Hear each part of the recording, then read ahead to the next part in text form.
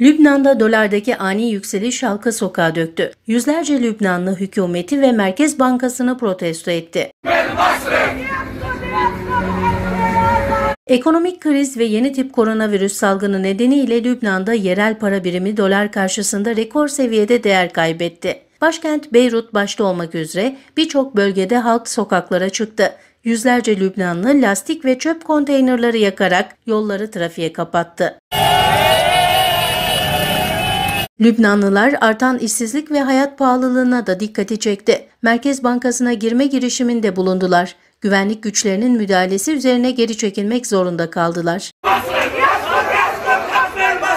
Lübnan Kızılaç örgütü sosyal medya hesabından yaptığı açıklamada gösterilerde 41 kişinin yaralandığını duyurdu. Eylemler ordu ve emniyetin yoğun güvenlik önlemleri altında devrim sloganları eşliğinde devam etti. Halkın sokağa dökülmesi üzerine Lübnan Merkez Bankası Başkanı Riyad Selam yazılı bir açıklama yaptı. Lübnan lirasının ABD doları karşısındaki değer kaybının sosyal medyada abartılı şekilde gösterildiğini belirtti.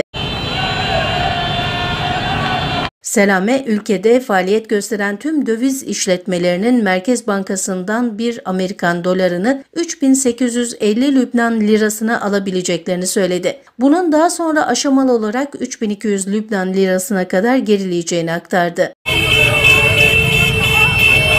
Ruhsatlı işletmelerin Merkez Bankası'na döviz ihtiyacının gerekçesini belirtmesi halinde 48 saat içinde bu işletmelere havale yapılacağını kaydetti. Ruhsatı olmadan döviz alışverişi yapanlar hakkındaysa yasal işlem yapılacağını bildirdi.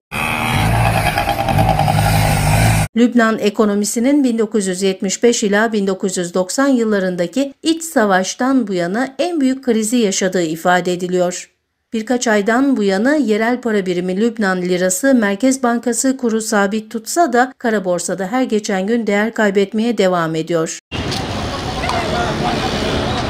Başbakan Hasan Diab da ülkesindeki kamu borcunun 90 milyar doları aştığını ve Lübnan'ın tarihinde ilk kez temerrüde düştüğünü belirtmişti. Lübnan hükümeti her yıl 2 milyar olmak üzere 10 milyar dolar kredi almak için IMF ile müzakerelere başladığını açıklamıştı.